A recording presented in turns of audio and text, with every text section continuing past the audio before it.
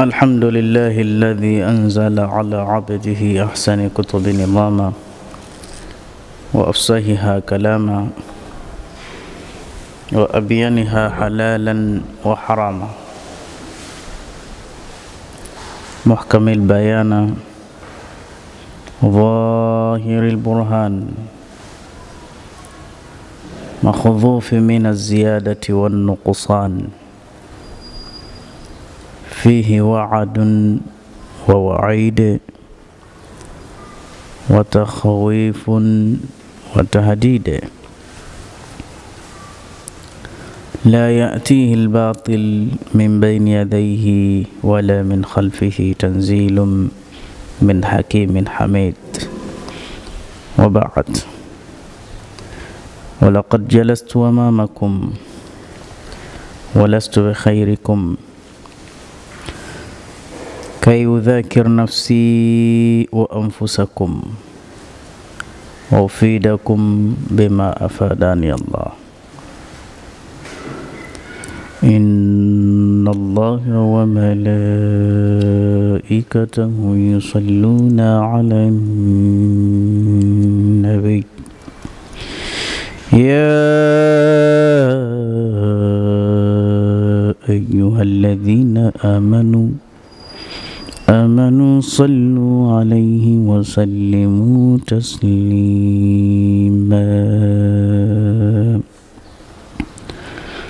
اللهم صل وسلم على سيدنا ونبينا مولانا محمد.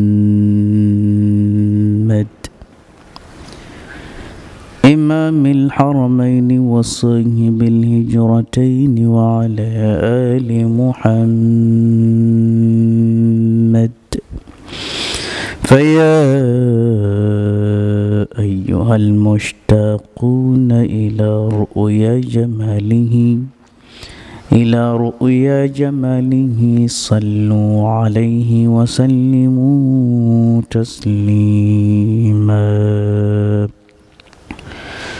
اللهم صل وسلم على سيدنا ونبينا مولانا محمد.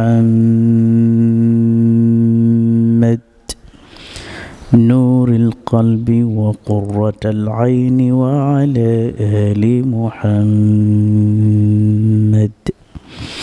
فيا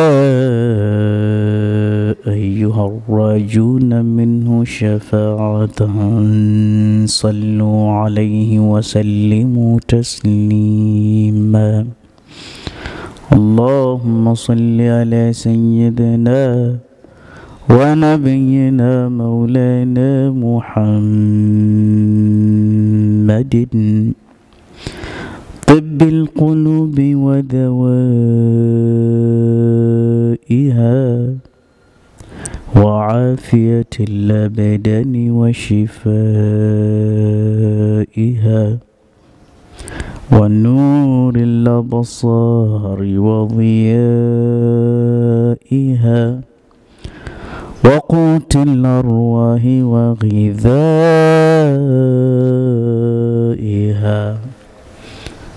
أخوة الإيمان أوصيكم وإياي بتقوى الله. واتبعوا سنة نبيكم واعلموا أن الفوز مع المتقين ومن لم يلبس ثيابا من التقى تقلب عريانا ولو كان كاسيا. قال الله مولى تبارك وتعالى في القرآن الكريم.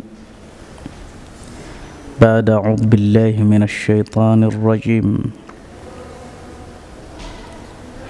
وننزل من القرآن ما هو شفاء ورحمة للمؤمنين.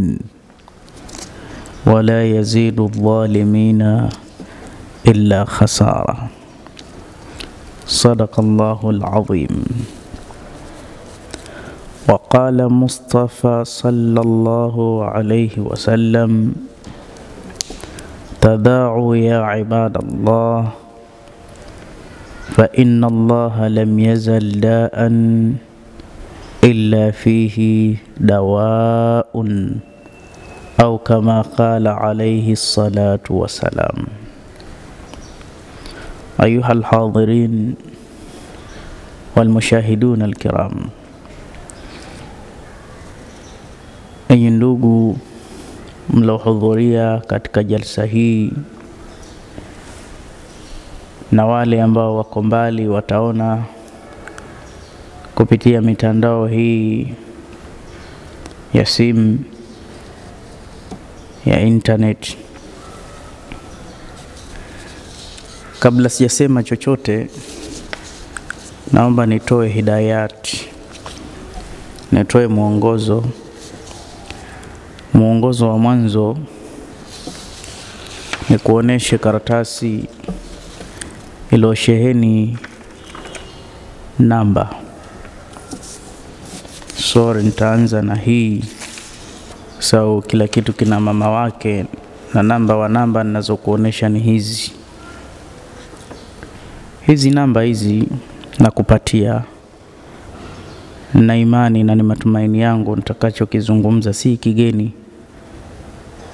au kwa mwingine kitakuwa ndo mara ya kwanza, na kupitia hiki najua atahitaji mawasiliano. Naomba uwe makini. Nimekionyesha mwanzo wa video kwa sababu nitakapokuja kunena mwingine ata comment na kupataje. Kunipata kwangu ni huku. Siku hizi binadamu wanatafutana kwa mawasiliano. Mbele yangu kuna namba ya Tigo iko juu 0652 89 11 26. Kuna namba ya Airtel ipo kati 0786 05 59 60. Kuna namba ya Vodacom 0764 18 50 48. Kuna namba ya Zantel 0776 07 30 26. Hizi namba hizi pia zinahusika na miamala ya kipesa. Hiyo Tigo inatumika kwa Tigo Pesa, hiyo Airtel au M-Pesa pia inatumika, na majina ya zote hizi kwa Tigo Pesa, Airtel Money, M-Pesa na Zantel Enzi Pesa, zote hizi majina yaliyosajiliwa ni Athumani Kupaza. Athumani Kupaza. Namba hizo kwa dunia nzima hazitoshi, ni chache. Kwa hiyo kuna namba za ziada zimeongezwa. Namba zetu za ziada, kuna namba za Vodacom na Airtel tu, hizo hapo zitizame vizuri. Nafikiri umezipata. Kwa mtu yoyote aliyokuwa nje apige namba hizi hizi, lakini anze plus 255 plus 255 ndo kodi ya nchi yetu ya Tanzania. Miamala ya Western na MoneyGram waweza ukatumia Athmani M Kupaza au Athmani Michael Kupaza. Asante sana. Nimeisoma aya, Allah anasema Qur'ani imetelemshwa ili iwe ni shifaa, ni pozo, ni tiba, ni dawa na ni rehma kwa waumini na kwa binadamu. Qur'ani inatibia na Qur'ani iko na, mita, eh, na matawi furuati mengi. Qur'ani imeelekeza asali, Qur'ani imeelekeza tangawizi. Kwa hiyo usije ukaiona dawa ya kula ukasema si Qur'ani. Qur'ani ndo imeelekeza, kwa sababu tunaamini ndo mfumo kamili wa maisha ya mwanadamu.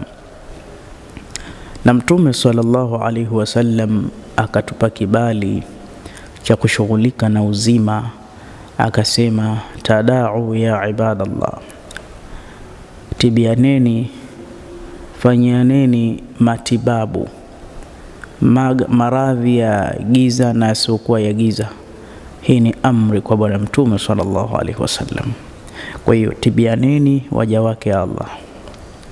Tutatibianaje? Bila shaka yeye ndo ametufundisha na wanawazuoni wamemsoma vizuri Mtume sallallahu alaihi wasallam na wakatupikia hadithi zake na wakatupakulia sisi ni kula. Kwa hiyo Uislamu haujawa mbali na mambo ya tiba, na mambo haya ya tiba kwa mdomo mpana si mambo ya watu fulani, haya ni mambo ya Waislamu.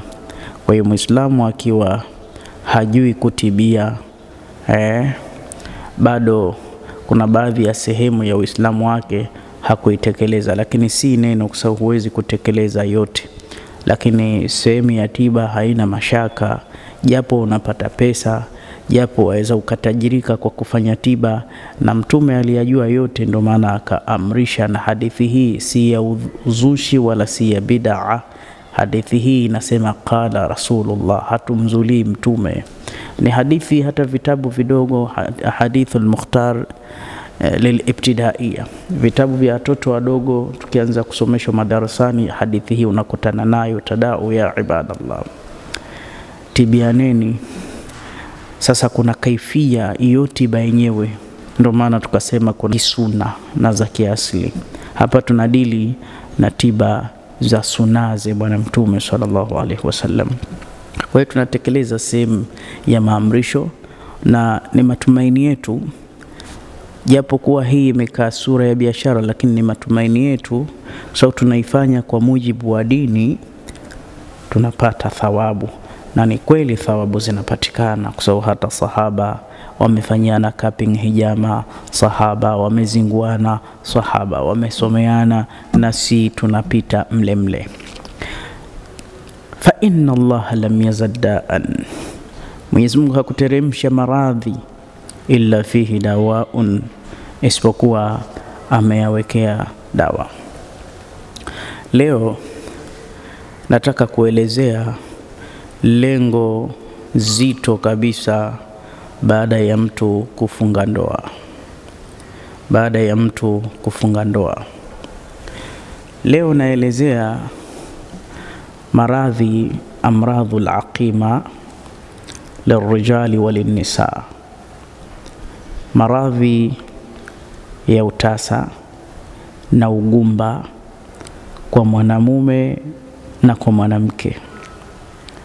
Lakini nitaeleza dhuufu ljinsiya lirijali walinisa aidan, mapungufu ya kupata appetite ya sex ya jimai ya mulaaba wa ndani ya tendo la ndoa kwa wanawake na kwa wanaume. Nitaeleza Wajua, kifo na mapenzi ni vitu ambavyo haviepukiki na ni vitu ambavyo vinaikeep busy dunia, vinairan dunia. Watu wanakwenda mbio kwa sababu kama hii, tendo la jimai, tendo la ndoa. Hili tendo la ndoa mara nyingine tunaona hakuna sababu, linashindikana, linaleta shida, linaleta athari mbele yangu kama nilivyokusha kusema, nitaeleza udhaifu na kukosa appetite ya tendo kwa mume pamoja na mwanamke. Nitaingia kwa undani, lakini nitajitahidi nisiongee kwa kirefu, lakini nitajitahidi sana insha Allah kuingia ndani. Kwa hiyo naomba masikio mawili ya mwanamke na hata mwanaume, hasa kheri, insha Allahu kheri watafaidika na matibabu nitakayoyafanya. Kuna dawa zishakuwa complete, na dawa hizi hatuna nyingine tena zaidi ya dawa hizi hapa, na nitazi introduce. Kuna dawa ya kwanza Hii dawa ya kwanza inaitwa dhufu ljinsia.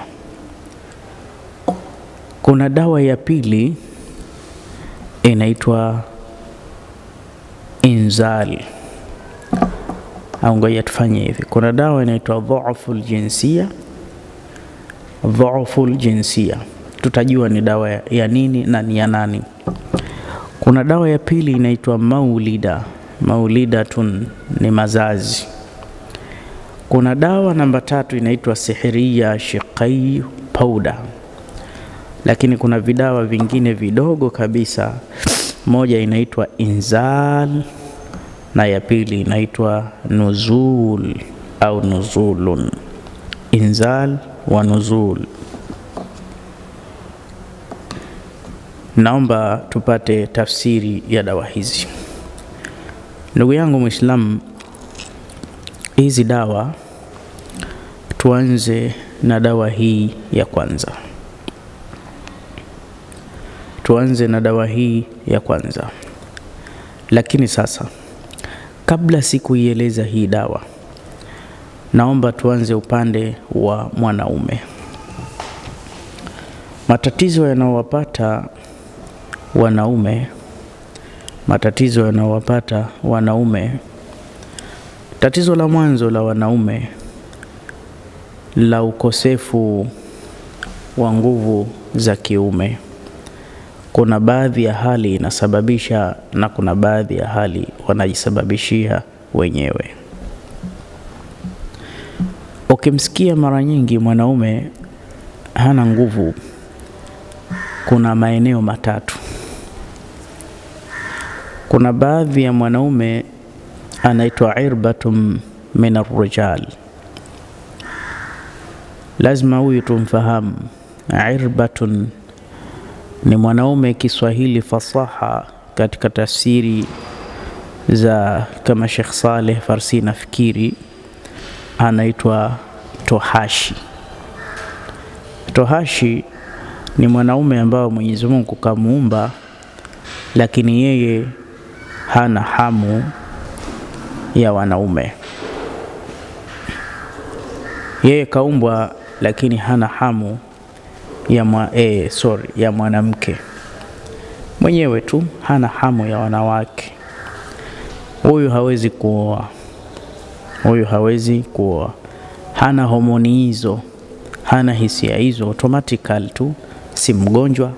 Basi mara nyingi huyu huwa tunamwita bouncer mara nyingi anakuwa na mwili mnene na mwili mkubwa sana. Na matohashi, miongoni mwa alama zao ni mtu anakuwa na mwili mkubwa, lakini maumbile yake yanakuwa madogo sana kama kijipele. Ukimtizama waweza ukaogopa au yakapotea kabisa. Inafikia stage kama hii. Huyu hatumzungumzii kwa sababu ni maumbile yake. Kwa hiyo kuna baadhi ya watu utamkuta haoi, anahimizwa. Lazima kwanza watu wafuatilie tatizo lake ni nini. Wengine wana hali hizo, wanahisi labda ni mashetani ndo wanaofanyia vitu kama hivyo. La, tatizo la pili kwa wanaume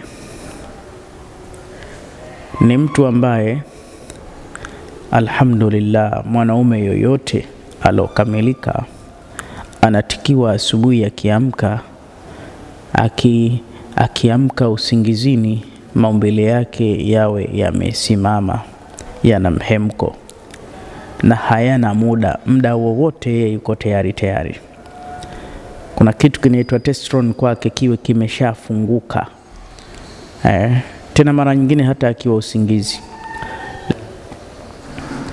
Kwa hiyo mwanamume akiamka asubuhi akawa maumbile yake hayasimami, huyu ana upungufu mkubwa sana, ana upungufu wa hali ya juu kweli kweli.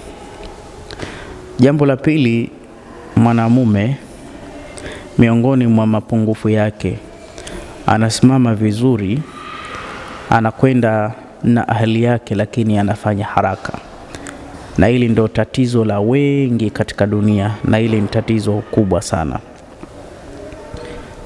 Anakwenda haraka. Haraka sana, hata bila kufika safari yake anashuka mapema katika kituo chake. Hili pia ni tatizo la hali ya juu kweli kweli, na hili naweza nikasema ni 99% ndo matatizo ya wengi. Kwa hiyo ukimsikia mtu mimi sina bwana power, siko stronger kwa mke wangu, si kwamba hawezi, anaweza, lakini anafanya haraka, na hili ni tatizo kubwa sana. Nitakuambia chanzo chake ni nini na lazima tutibiane insha Allah. Tatizo jingine, mwingine haendi haraka, anachelewa, lakini ana shida ya kusimama yale maumbile yake, awaze, afikirie, mara yakisimama tu akitaka yanafeli.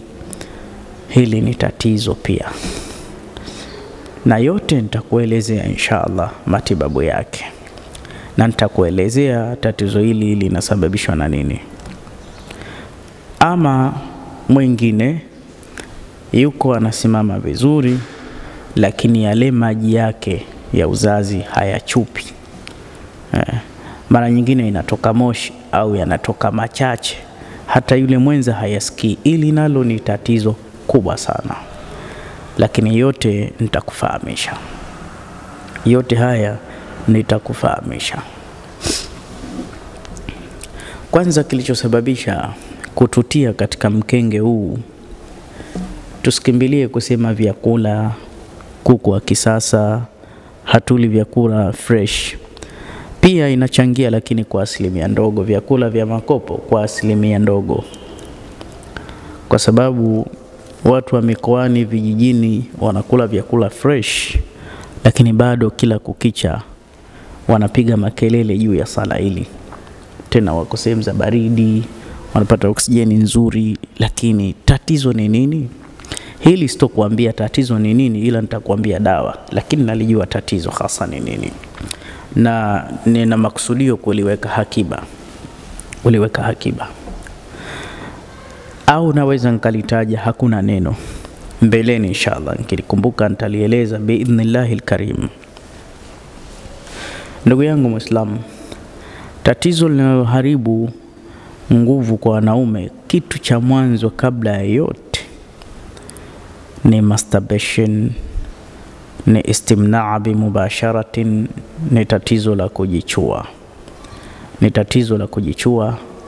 Wanaume wana mtindo wa kujichua, akiingia baleghe pale anaona pua bado kuko mbali na yuko boarding, na anakaa pahala wanapiga stori za wanawake anajificha pahala na kufanya uchafu huo, anajiua kwa mikono yake mwenyewe. Masturbation ina athari kubwa kweli kweli. Miongoni mwa athari zake, maumbile yanakuwa madogo kabisa kabisa kabisa kabisa. Kwa hiyo tatizo la mtu kuwa na maumbile madogo ni masturbation, kwa sababu ndo maana tukasema kujichua. Kwa hiyo anatumia nguvu mpaka mishipa yake inasinyaa, inakoma, haipampu ile mirija yake. Hilo ni kosa. Kitu cha pili, sehemu yake ya kofia yake anaiathiri. Mwenyezi Mungu kaweka gamba lake ni gumu, analilainisha kwa masabuni makali hayo ile inakuwa sababu ina sensi kwa haraka, yale mahesabu yanayotakiwa yafanyike haiwezekani. Kwa hiyo anadhalilika haraka, ndio chanzo cha kufanya haraka. Na ukiwachukua wanaume kumi ambaye hakupitia ujana katika mambo hayo, labda mmoja, hili ni tatizo. Lakini ni tatizo baya sana hii kujichua, tuache, kwa sababu uzeeni linaleta matatizo pia ya mikojo haya matatizo ya mikojo masturbation inachangia, na hatari yake ukifuatilia sana, mpaka utakuja kupata tezi dume.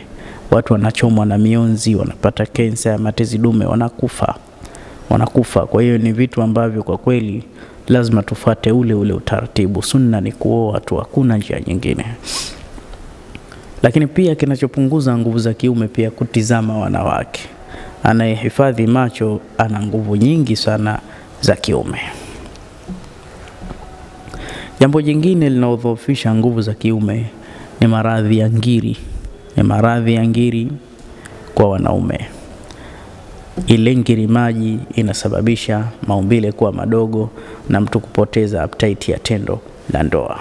Haya yote ni maradhi, haya yote ni maradhi. Lakini pia kinachopoteza nguvu za kiume ni maradhi ya uzinzi, mtu kupata majeraha mara kwa mara na vidonda sehemu ya siri.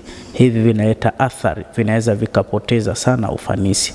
Hizi ni sehemu za kulindwa, ndo maana zikaitwa sehemu za siri, lakini kuna watu hawana sehemu za siri. Atakuwa vipi na sehemu ya siri? Kila pahala anaziweka wazi tu, kaingia kwa huyu, katoka kwa huyu. Si sehemu za siri tena hizo. Hizi ili zisalimike, ziendelee kuitwa sehemu za siri, zifichikane, zisionekane ila pahala palipopasa. Lakini ukiwa unaziachia ovyo, mara Mwenyezi Mungu akazikadiria mitihani. Kwa hiyo pia hilo, lakini na uzinzi pia unapunguza sana nguvu za kiume vivyo hivyo.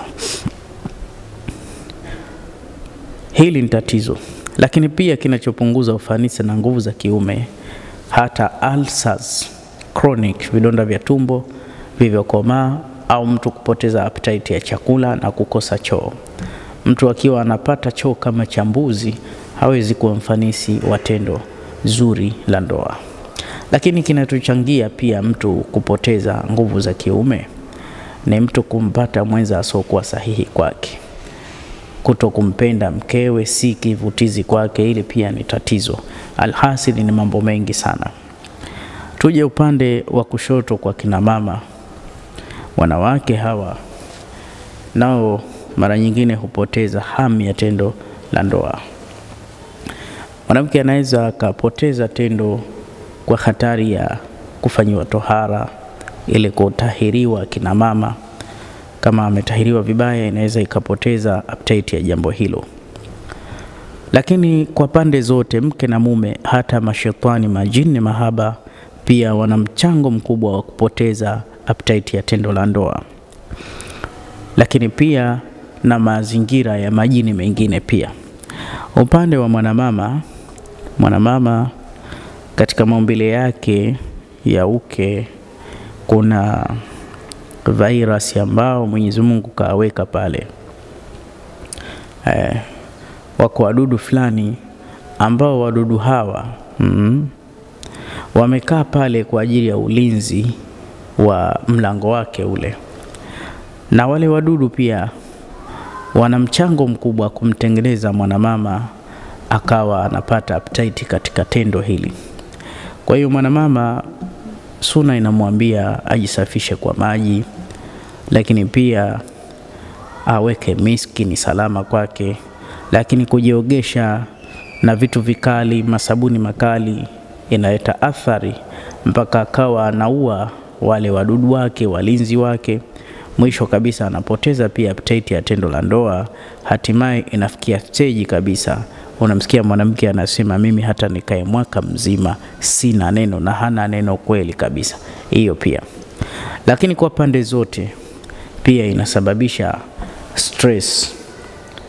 E, mtu msongo wa mawazo una uwezo wa kupoteza tendo la ndoa, hasa ukali wa maisha unaweza ukapoteza appetite ya tendo la ndoa. Matatizo mengi leo tulipofanya uchunguzi ya matendo ya ndoa hayahusiani na masala ya kibaiolojia. Baiolojia ni afya, msukumo wa damu unaendaje, unarudije.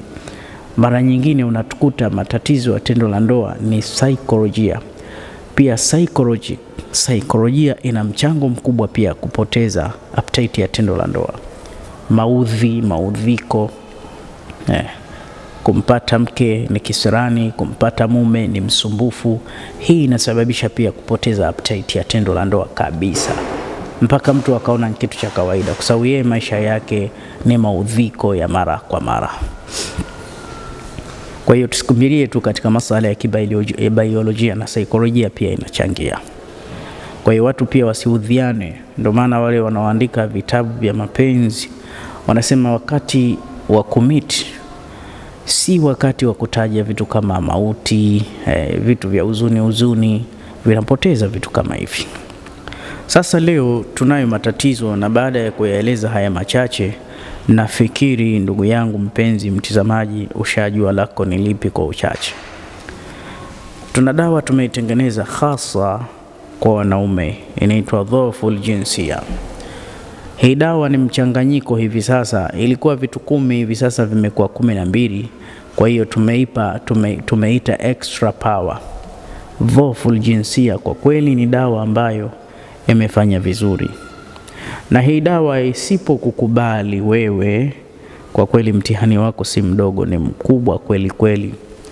Hii dawa vitu vyote ni vitu karibia vya Kiislamu, na hivi vitu naomba kuvitaja, halafu nitakuambia hii dawa inatibu nini. Hii dawa, mmea wa mwanzo ambao umechanganywa ni mmea wa habat sauda, punje nyeusi, habat sauda. Dawa hii mmea wake wa mwanzo ni habat sauda. Habat sauda, Bwana Mtume sallallahu alaihi wasallam aliitaja hii mara kadhaa katika maneno yake tahara na matukufu. Qala Rasulullahi sallallahu alaihi wasallam, habat saudau shifau likulli da, anasema habat sauda ni shifaa, ni tiba, ni pozo kwa kila maradhi. Sadaka Rasulullah, habat sauda ni tiba kwa kila maradhi. Yajibu an nu'mina bi, kwa sababu ni mtume wetu, ni lazima tumwamini insha Allah.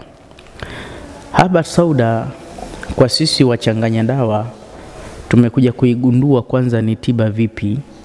Habat sauda ni tiba kwanza, ni dawa inaobalansi dawa, inapoza dawa. Kama una formula, kama unachanganya dawa kumi au ishirini ili ziende viwango sawa, basi hii inazikasimia, inazifanya balance, msaada mkubwa. Lakini kitaalamu zaidi, habat sauda imechunguzwa ime, ime, ime, ime eh, inaitwa black seed. Maanake habat sauda kuna ya unga poda, alafu kuna ya mafuta. Katika uchunguzi na tiba tulikuja kugundua kweli haba sauda wallahi ni jambo kubwa, kwa sababu haba sauda imefikia steji. kwa mfano ukipata mafuta mazuri yale kutoka kama, kama nchi Somalia, basi mtu hata awe na tatizo sugu la moyo akiinywa ile inamsaidia. Nilikutana na rafiki yangu eh, na mmoja kati ya makastomers wangu. Alikuja hapa ofisini kwangu akanaambia alikuwa katika mkoa, sina haja ya kuutaja, lakini alhasir, kisa hiki kimetokea. Amesema usiku alipatwa na COVID-19 coronavirus, maradhi mabaya yakampata usiku, na maradhi yale nkuzuia hewa, akawa hawezi kupumua, akawa anapumua kwa shida, na ni usiku mkubwa, na yeye yuko mkoani kijijini, hana usafiri wowote. Hapo ndo pakufia, usipumue utakuwaje? Nyumbani kwake kulikuwa kuna mafuta haba sauda, basi yale mafuta akayanywa. Alivyoyanywa yale mafuta, akaona ile hali inaachia. Akikaa dakika kadhaa, inakuja tena, anakunywa tena matone yale mafuta, inaachia. Basi mpaka kukapambazuka, akaenda hospitali. Alivyofika hospitali, wenzie walioshikwa na korona baada yake hali zao mbaya na wanataka kupoteza maisha basi yeye alitibiwa bila kuwekwa hata oksijeni. Akashuhudilia kiasi gani habat sauda ilimpa kampani kubwa kweli kweli. Kwa hiyo habat sauda si kitu cha kuigiza, na ndio maana tukasema hizi ni dawa za suna. Zipo baadhi ya dawa Mtume kazitaja zinapatikana hapa hapa kwetu Tanzania, lakini ndo kashazitaja Mtume sallallahu alaihi wasallam. Kwa hiyo habat sauda inahusiana sana na sisi hususan Waislamu, lakini binadamu wote, kwa sababu Uislamu hauna uchoyo. Kwa hiyo tunataja tu kwa sababu tunataja kwa nembo ya imani, lakini hata asiokuwa Mwislamu anaruhusiwa kutumia hizi dawa, awe Mwislamu awe Muislamu asiwe Mwislamu, sio za Islamiki peke yake. Lakini kuja kuichambua tena habat sauda Ni dawa ambayo pia kitaalamu inazidisha, inaongeza CD4. Kwa hiyo hata wale watu wenye maradhi kama HIV ni dawa ambayo ina uwezo mkubwa kweli kweli kuwasaidia na kuwaongezea siku za kuishi. Sasa hii habat sauda, yule mtu ambaye current na power zake na hormones zake zimekuwa chini na appetite hana power, basi mtu ambaye anataka kutenda na kutendwa tendo la ndoa, basi habat sauda ni mmea bora kabisa, ni mmea mzuri. Kwa hiyo dawa yetu, dawa ya mwanzo ina kauli ya Mtume ni habat sauda, na yenyewe tumeiweka kwa wingi kuliko hata dawa zitakazofuatia. Hii ni dawa yake ya kwanza. Dawa yake ya pili, dawa yake ya pili kwa Kiarabu inaitwa zanjabil. Zanjabil hata katika Suratu Ihsani imetajwa. Zanjabili si kitu chengine, ni tangawizi.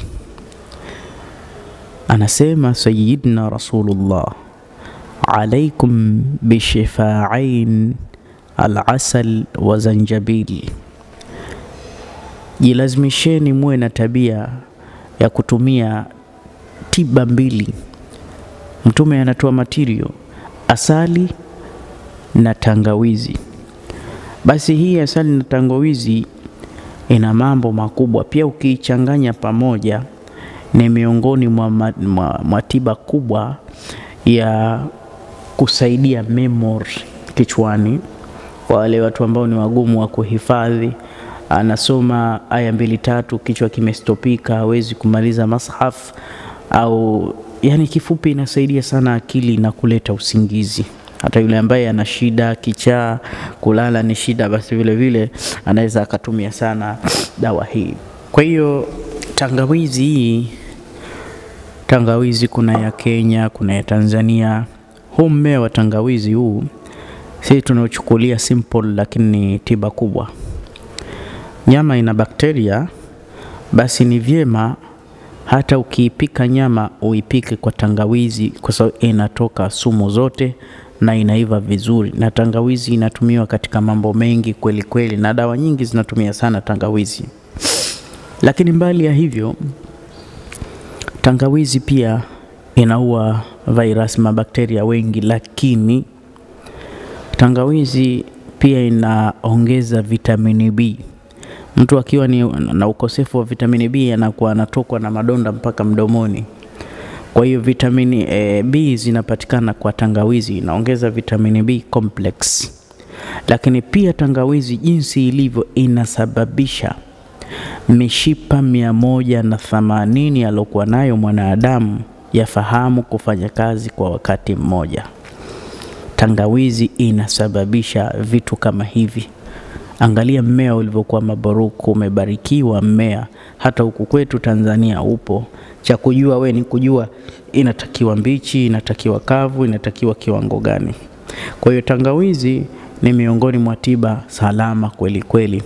Kwa hiyo kwa ajili ya kuandaa nguvu za kiume, tangawizi pia imewekwa humo. Unaona hata ulcers chronic, madonda ya tumbo magumu eh, kuna peptico colon, wale wadudu wale bakteria wale eh, wanauawa na tangawizi, lakini yenyewe ina fomula ya kuweka, ukizidisha inavianzisha tena hivyo vidonda.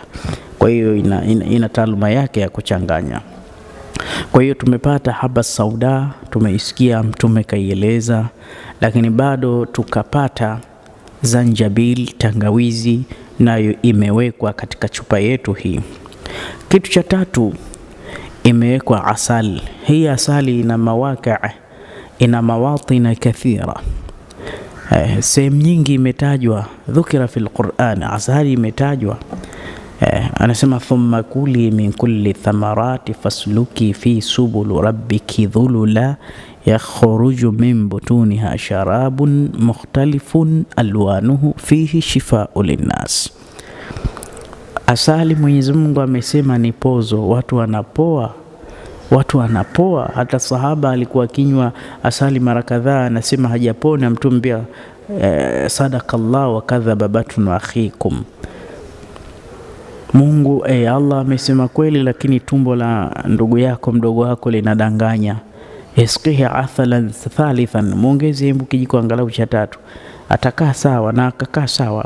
Sasa hii asali, hii asali, nisikilize, asali ndo mama wa dawa, kwa sababu asali imechanganywa ni mchanganyiko wa miti zaidi ya milioni moja duniani, zaidi ya milioni so nyuki atakula maua waridi, atakula sijui mtausi, atakula sijui mchongoma, atakula sijui uwala hivi, atakula vitu vingi mpaka atatengeza asali. Ndio maana asali ilivyo, ukiipata original asali hata uki, uki, uki, lazima asali yenyewe kwanza iwe yenyewe, lazima asali iwe yenyewe. Asali ikiwa original nzuri kabisa ukiweka kwenye deep za haigandi, haigandi, inabaki vile vile. Hiyo ni testi ya asali. Lakini asali ikiwa sawa bin sawia, ukiweka kwenye njiti ya kibiriti ukiwasha inawaka, isiokuwa sawa haiwaki. Lakini hiyo hiyo asali ukiweka kwenye karatasi laini kama hii, ile iliyokuwa yenyewe basi hii hairoi hii karatasi, lakini soko yenyewe karatasi lazima liwe na unyevu unyevunyevu, na asali halisia unakuta mpaka inakwaruza. Na asali ziko za aina nyingi kabisa, kuna nyuki wadogo, kuna, kuna asali ipo kama maziwa. Allah ya lala safi, mpaka inatoa nta hapo hapo. Na asali namba moja ni ya kwenye majabali, namba mbili ni ya kwenye mizinga, namba tatu ni ya kwenye kuwategea, kwa sababu ndio ilivyokuja katika aya ya namna kama hii. Kwa hiyo asali ni dawa, lakini asali inaongeza damu. Kwa hiyo mwenye tendo la ndoa akiwa pia damu yake iko low, haina presha, hawezi bado kuhisi tendo la ndoa. So hicho kiungo chenyewe cha uzazi kwa mwanaume ili kisimame kinahitaji kasi ya damu. Kuna paipu mbili, go and return. Lazima paipu ya go ifungue kwa pressure, ya return izibe. Kile kitendo cha kuziba ndo mtu anasimama barabara na mishipa inamsimama, ana uwezo akamtumia mtu, pengine hata akamuua. Ndio maana nasikia mtu akimbaka mtu anamuua, kwa sababu hawakuelewana, hawakuelewana. Kwa hiyo bado damu inahitajika iwe salama. Kwa hiyo asali inaongeza damu, haina shaka. Asali inaleta mpaka nyama katika mwili. E, manake kuna mtu mmoja alifanya operesheni katika eh, korodani yake zikatolewa, wakajaza asali kwamba baada ya muda itahawili, itataghayar, itakuwa nyama. Kwa hiyo asali pia inaondosha makovu. Eh, baadhi ya dawa hizi za kupaka za kuondosha makovu usoni pia hutengezwa na asali. Kwa hiyo asali ni kinywaji, asali ni tiba, asali ni dawa, na asali ziko za aina tele kabisa. Kwa hiyo pia vile vile kwa usalama wa tendo pia tumeweka asali katika dawa hii, lakini tukaongeza tena dawa nyingine. Hii ni dawa ya namba nne. Hii ni pilipili manga. Naomba hivi sasa niende kwa kirama kwa haraka.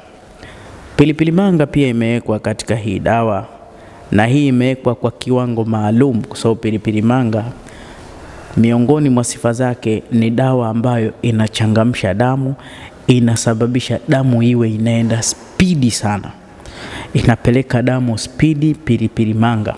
Kwa hiyo pia vile vile mtu akila pilipili manga hata kwenye chai, kiungo chake cha uzazi kinaanza kupata mshtuko, na mwingine atasema hizi ni zile dawa za kizungu zimewekwa ndani yake. Aa, si ndani yake, haikuwekwa haikuwekwa, ni hiyo tu pilipili manga kwa kiwango maalum, ndio maana huisikii.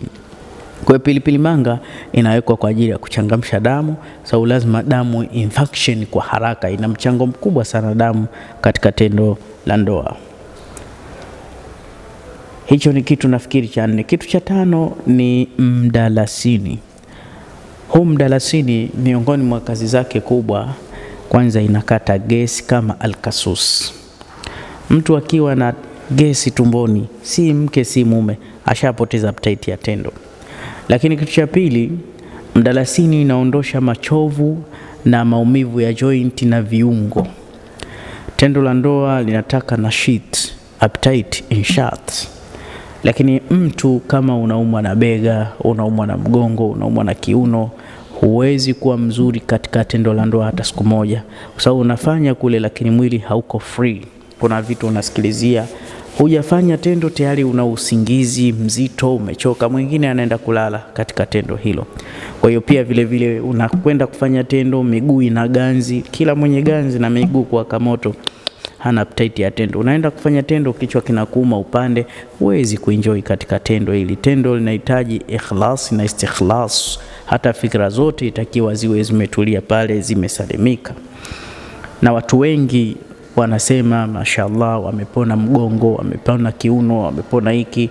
Ni vitu kama hivi ambavyo wallahi tunachanganya. Najifakhirisha kuielezea hii dawa kwa sababu namshukuru Allah kwa neema zake kunipa ujuzi wa dawa hii inatibu mambo mengi, mpaka nakumbuka nimepata watu wengi. Mimi nilitoa kwa ajili ya nguvu za kiume, lakini kuna baadhi ya maradhi yameongezewa na watu Marekani, UK, hapa ndani ya nchi. Wallahi nimefarijika mpaka mimi mwenyewe nashangaa, ah, kumbe hii dawa inatibu haya. Mtu mmoja, sio mmoja, wengi sorry, lakini huyo mmoja ndio juzi akawa ananiambia Leo bwana, tumetumia hizi dawa chupa ya tatu. Mimi nikamwambia hii chupa moja ni dozi kwa mahesabu yangu. Kwa nini mmetumia tatu?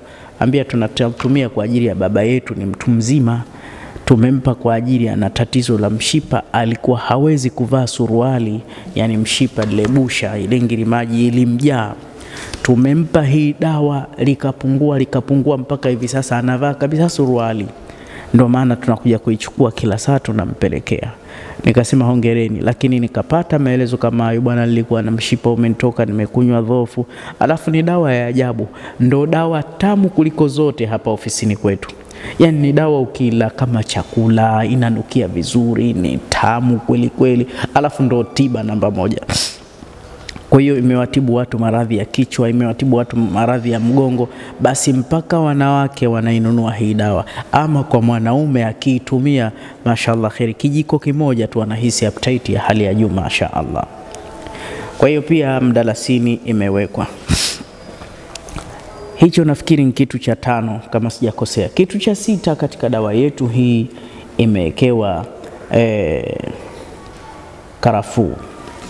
Karafuu miongoni mwa sifa zake kubwa, inahifadhi kiwango cha joto kinachotakiwa mwilini. Mabwana, sehemu za siri zikiwa na ubaridi, umepoteza mchezo. Lazima mke na mume awe na joto, na mwanamume hasa akitumia hii, unamkuta maumbile yake anakuwa na moto. Ndio maana kwa bahati mbaya utawakuta baadhi ya watu ambao wanaziniana wakitumia yale makaratasi yao yanaitwa salama yale, utamkuta mwenza analalamika, ah bwana, ukitumia hii mimi sihisi chochote, lakini ndio kuepuka maradhi. Ehe, kwa sababu mwanamke ana, anapenda lile joto lako, alafu kuna vitu Mwenyezi Mungu anaviingiza ndani yake, alafu kuna tokea chanya na hasi na mambo yanakuwa mazuri. Kwa hiyo mwanababa lazima uwe na moto, uwe na joto Uh, uwe na joto uwe na moto. Sababu tendo lenyewe linabadilisha macho, yanakuwa mekundu, macho yanakuwa hivi. Ni jambo kubwa alhasiri, na ni jambo liheshimiwe, ndio maana linafungiwa milango na wamefanya watu watukufu wema waliopita.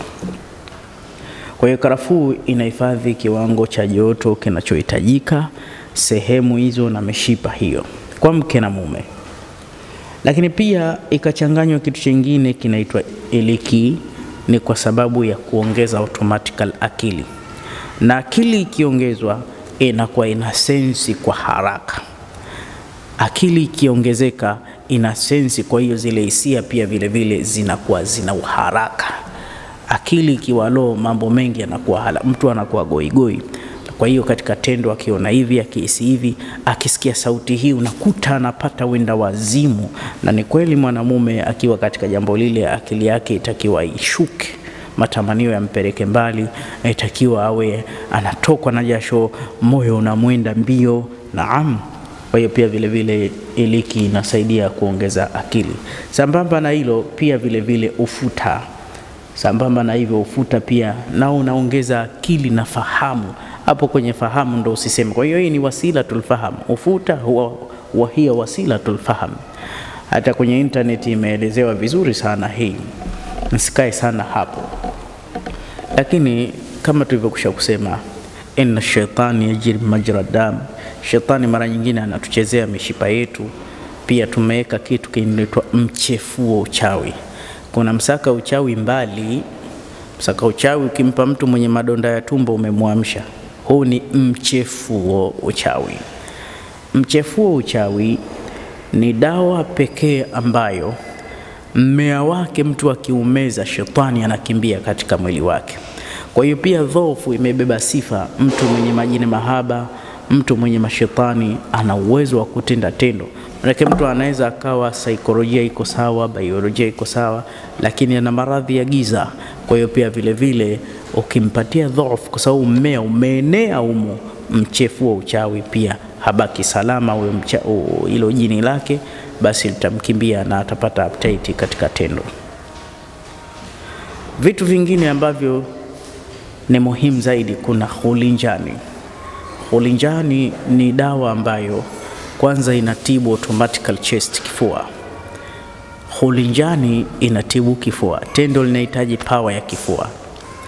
Kifua kikiwa kibovu, huwezi kuwa mzuri katika tendo la jimai, hata kwa bahati mbaya, si kwa mwanamke, si kwa mwanamume. Lakini hulinjani ni dawa ambayo automatically ya matamanio makali kweli kweli Yaani mtu hata akila kwa kuibugia na akailamba automatically anakuwa na hamu nyingi sana kwa mwanamke na kwa mwanaume. Mwenyezi Mungu kaijalia hivyo. Kwa hiyo ni dawa nzuri hulinjani, lakini pia tukaweka na mbegu za maboga. Mbegu hizi za maboga kazi yake kubwa ni dawa, inaleta hisia za hali ya juu, hasa zikiwa mbichi, si za kukaangwa zinawekwa juani, zinasagwa. Tena maboga yenyewe chenye kufanya kazi sana, watu wanajua ni zile mbegu, la ni zile kamba zinazokaa kati ya boga na mbegu. Sasa zile kamba unazichukua unazianika pamoja na mbegu, zikisagwa zile, yaani zile peke yake, acha kuchanganya na madude mengine zinaleta sana hamu ya tendo, lakini zinazalisha sana maji kwa wingi ya uzazi. Mwanamume ili atosheke na aridhike ni kupata maji mengi, na yakiwa mengi lazima yachupe, maanake yakikomaa mpaka yanakuwa na harufu fulani fulani. Hapo ndo ana uwezo wa kurutubisha yai la mke wake na akamstarehesha mke wake na wakapata watoto wao. Kwa hiyo hii ni lishe, hii ni lishe ukichanganya na karanga hii maboga kamba zake na karanga na karanga manake imo umo. Ina maana ukichanganya hivi inakuwa ni lishe, kwa sababu kuna ushahidi kamili, mwanamume hupata mtoto kwa sababu ya lishe. Kwa hiyo mwanamume anaweza akawa si mlaji, akala vitu havirutubishi mwili na asiweze kuzalisha na mawake kama yashatokea zama za Bwana Mtume sallallahu alaihi wasallam. Ina maana kuna mtu au mtoto alirusha tenesi watoto anacheza kikaruka kitu kati ya watu wazima akiwemo Mtume akasema, mtoto wa haramu atakuja kuchukua huyu mtoto hichi kipira. Akaja mtoto wa sahaba akashangaa sana yule sahaba, ya Rasulullah, mwanangu mama yake nimemoa ndani ya ndoa, atakuwaje wa haramu? Mimi sijasema mtoto wa zina, nimesema wa haramu. Ina maana weye ulipita kwenye shamba la mtu ukachuma mhogo wake ukala ule mhogo ukatengeneza ule mhogo gameti ume, zile gameti ume ndo zikaumba mtoto wako. Kwa hiyo vyakula tunavyokula pia, ndo maana ambaye hajaoa anaambiwa asile afunge, fa wijaa wija. Akiwa anafunga kwake, hiyo ni kinga, kwa sababu anakuwa si mzuri, hana ufanisi katika tendo hilo na si wengi tumeona ukiwa na njaa, wacha yule mtu ambaye hajai kuishi na mke, lakini mke ushamzoea, alafu uwe hujala, huwezi kusema njoo kwanza afu nitakula baadaye. Ah, utakuta nipe kwanza chakula. Ndio maana wale wanawake baadhi kama pwani pwani, anajua vyakula vya mumewe, utamkuta amemwekea mumewe vijikaranga hapo eh. Pia kuna vyakula mwanamke itakiwa mtengenezee mumewe kwa ajili ya kuboresha tendo la ndoa michuzi kama ya pweza hivi, vitu kama hivi. Mchuzi wa pweza ni mchuzi mzuri kabisa, karanga, eh, miogo miogo, vitu kama hivi, nazi zile kweme, eh, uh, watu wakiwa wanajua mambo wanatumia vitu kama hivyo, lakini too much kuliko vyote. Unajua, kama huamini, kajaribu leo, nenda pahala kanywe glasi moja ya maziwa ya ngamia. Utanipa mkono ndugu yangu Muislamu. E, maziwa ya ngamia ah, Allah naye, audhu billahi minash shaitani rajim afala yandhuruna ila libili kaifa khuliqat, hivi hawatizami vipi ngamia ameumbwa? Kweli tumetizama, tumeona alivyoumbwa. Maziwa yake yanaongeza maradufu tendo. Sasa mara nyingine tunawahurumia watu, tunawahurumia watu wasichane suruali zao, basi tunaweka hivi, hatuweki maziwa ya ngamia. Lakini tukimwona mtu amezidi, hey, bwana, mi naona sawa, lakini bado weka maziwa ya ngamia ndani yake, mkorogee vizuri, baba, shika kula. Sallu ala nabii.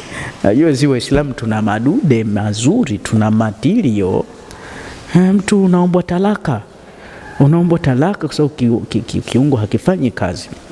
Kwa hiyo dhaufu ljinsia, hivi nilivyoielezea, nitaweza kuelezea nyingine kweli?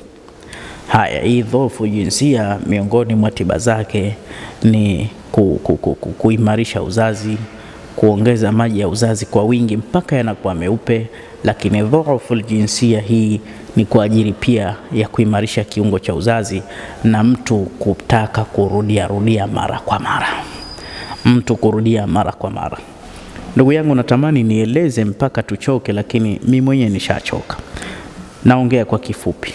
Upande wa pili, wale kina baba mwenye matatizo ya kuwahi, hii pia itamsaidia, pia itamsaidia kwa kiasi, kwa ile kufanya haraka lakini yatumie dawa hii iliyochanganywa ndani yake baadhi ya vitu. Hii inaitwa inzali. Hii inzal, nieleze matumizi yake. Hii dhaufu, mtu anywe kijiko kizima cha chakula kutwa mara tatu, achanganyi na chochote, kama ilivyo tu, anakunywa, anachota, anakunywa, anachota, anakunywa. Kwa hiyo mwenye ngiri, dawa itamsaidia yule mtu ambaye ha, hasimami vizuri, hii dawa itamsaidia. Hana appetite ya wanawake, hii dawa itamsaidia. Yule mwenye haraka ya kuwahi atumie dawa hii. Hii dawa hii atajipaka mafuta malaini kidogo, na ataweka na hii dawa ataweka kwenye kofia yake. Kiswahili tunasema jando, maradhi kidogo, ndo hivyo. E, ni haki na Allah la yastahi anil haq, tunaeleza haki na Mungu hana haya na mambo ya haki e, japokuwa hatuna sehemu nyingine ya kuelezea, kwa sababu tunaeleza watu wapate uhalisia. Mtu asitoe pesa yake afu ajue afanyie nini, pengine akanywa hisi ya kunywa, anapaka tu eh, hata katika ras hedi yake ile anapaka, kisha akishafanya hivyo anakaa ndani ya lisaa au nusu saa, anajikosha vizuri, aweke kidogo tu, akiweka nyingi atahisi maganzi. Hii inamsaidia kumkawiza na inakaa mwilini wiki moja. Kwa hiyo akiifanya mara tatu, tunategemea atakuwa na tatizo la, atakuwa na faida ya kukawia moja kwa moja. Kitu cha pili, yule mwenye maumbile madogo na yalosinyaa na maumbile ya kiungo chake yaliyopinda, yale maumbile yaliyopinda, dawa yake ni hii. Hii ni ya mafuta, inaitwa Nuzul. Hii anaichukua anasugua maumbile yake yote kwa kuyanyosha vile anavyotaka. Pia hii inasaidia kukuza kidogo maumbile yake. Hata nta ya nyuki imewekwa, nta yenyewe tayari ni dawa. Nachoka Waislamu, hii maulida ina pande mbili, husafisha mkojo na kuzalisha homoni kwa wingi. Wenye matatizo ya mkojo inawasaidia hurutubisha mayai, hutibu ngiri na chango, huongeza hisia kali eh, kwa wanaume na wanawake. Hii maulida imechanganywa na vitu kadhaa, mpingi umechanganywa, ni dawa nzuri, na hata hizi nyingine sijazitaja, naona dhofu imenimaliza nguvu, siku nyingine nitakuja kuzirejea. Lakini hii pia vile vile inamfaa sana mwanaume na mwanamke, inamfaa sana mwanaume na mwanamke, hasa yule mtu ambaye hana hisia. Hii nayo ni kwa ajili ya wanawake, wanawake ambao periodi zao hazipatikani au zinakuja non-stop, hazisimami au hapati uzazi mwanamke, lakini hasa amepoteza hamu ya tendo la ndoa. Dawa hii iko automatical, ina tunda mwegea ndani yake, lakini pia yule ambaye ni matatizo ya kijini pia inatibu. Kuna dawa za kijini au ni matatizo ya kibiolojia pia inatibu. Kwa hiyo hii ni update kwa ajili ya kina mama. Sasa mwanamama tunamshauri dawa zake ili apate seksi vizuri, basi atumie dawa hizi hapa. Akifanya hivi, mashallah, ni uhakika mkubwa kweli kweli. Ama mwanaume kwa sababu ndo mwenye tabu zaidi, tunamshauri alokuwa na tatizo Concord lile atumie dawa hizi pamoja na dawa hizi. Kwa hiyo sasa, mtu pamoja na familia yake na mkewe atumie dawa kama hivi. Hizi dawa ni tano, mtu atumie hizi dawa tano. Akitumia hizi dawa tano, atakuwa amejitibu yeye, amejitibu pamoja na mkewe. Hii ni ibada, kwa sababu ukiwa na mke zaidi ya mmoja na mambo haya hayaendi sawa, mke lakini hazai, ana matatizo kwenye kizazi, sijui homoni zake haziko sawa, hii pia ni shida, inamtia unyonge. Kwa hiyo dawa hizi faida yake niloiona, kwanza tuna enjoy, kwanza tunaburudika, lakini pia tunajitibia. Nashukuru na mimi nichukue fursa hii, wale wengi wanaoniombea dua kwa ajili ya kutoa dawa hizi kwamba zimewafaa, ni wachache ambao hazikuwafaa kwa sababu dawa haiwezi kumtibu kila mtu, ni uongo. Lakini kwa kweli asilimia kubwa, si tunasema dawa hii tunaichukua kwa halali kabisa, tunaichukua kwa halali kabisa. Na dawa zote natuma vijana wanatengeza, lakini hivi sasa hii nataka tengeneza mwenyewe tu, nataka tengeneza mwenyewe sababu ni dawa ambayo nimeipenda na nahisi naokoa ndoa nyingi sana. E, mpaka uzazi bwana, mtu alikuwa hazai na mkewe mara wanazaa. Hiyo ni tafrija kubwa kwangu. E, lazima nimshukuru Allah kwa jambo kama hili. Kwa hiyo dawa hii napenda kuisimamia mwenyewe, na tokea juzi nimeiongezea boresho moja. Boresho gani? Nilikuwa siifanyiagi kisomo, lakini hivi sasa naifanyia na kisomo. Ndugu yangu usiokuwa Muislamu, karibu uchukue dawa, karibu uchukue dawa. Dawa zetu hazina mipaka, lakini sisi ni Waislamu. Kwa tukieleza bidhaa zetu hatuwezi kueleza tu kama watu wa kidunia, lazima tumtaje Allah kidogo, lazima tumtaje Mtume, lazima tumswalie Mtume ili hata ukipata kitu hiki, huyu mtume hasa mpaka nimsahau ni mtume, nimsahau mi mtume kama nani? Kwa sababu kama nitapata pesa nikafanya matumizi hayo, matumizi yangu nisingeyapata, chanzo ni mtume sallallahu alaihi wasallam. Eh, kama nina hadhi katika jamii, alosababisha niipate hadhi hiyo ni mtume sallallahu alaihi wasallam. Kwa hiyo siwezi kitu kinachonasibiana na elimu yake hata nsimfadhilishe mtume wangu, haiwezekani. Pengine kupitia hii dawa yangu nawe ukapenda mwendo wa mtume wangu ukasilimu pengine, lakini hizi dawa insha Allah ni za watu wote walokuwa na dini, wasiokuwa na dini, wapagani, Waislamu, Wakristo, wanani, watu wote eh, watu wote, na pia tunapata na si manfaa. Mimea yetu hii inapatikana insha Allah, karibuni muone angalau ujuzi tulorithishwa na Bwana Mtume sallallahu alaihi wasallam. Na dawa zetu hizi ukinywa kwa imani yako, mtegemee Muumba, mtegemee Allah eh. Yeye ndo mwenye sifa ya kutia shifaa katika hii mimea, azidi kuitia shifaa habat sauda ili ahadi yake itimie, nasi tupate faida. Azidi kutia shifaa kwa nguvu kabisa katika asali na tangawizi na pilipili manga na holinjani, ili viungo viwe vikali hivi, tupate faida kweli kweli, tupate faida. Baada ya kuyasema hayo, inshallah, naomba tuonane wakati mwingine kwa kukusisitiza kwamba usisahau ku, ku, ku, kufuatilia mawasiliano yetu.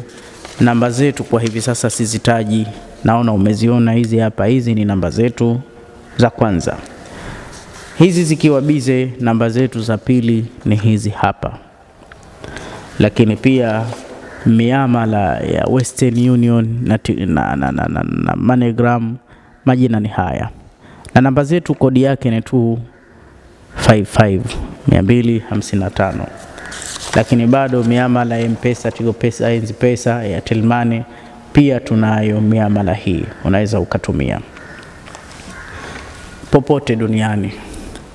Tuna uwezo wa kukutumia dawa ilipo.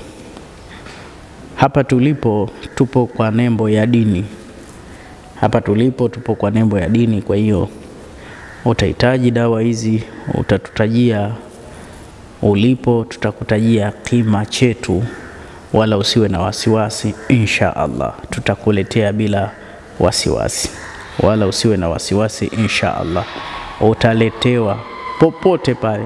Siku tatu zimezidi ni siku tano.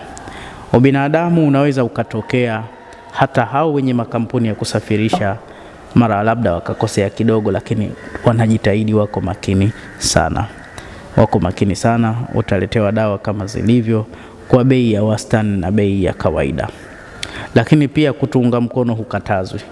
E, kutunga mkono hukatazwi. Namkuta mtu anachukua vijichupa hivi, lakini pesa anaoituma ni pesa nyingi kweli kweli, lakini anasema pia mtengeneze nyingine, asiojiweza mpeni dawa bure. Pia kuna watu wanafanya vitu kama hivyo, tunawashukuru sana na tunawatekeleza. Ndio maana wanapokuaga watu hawana hali nzuri, tunawasaidia vivyo hivyo.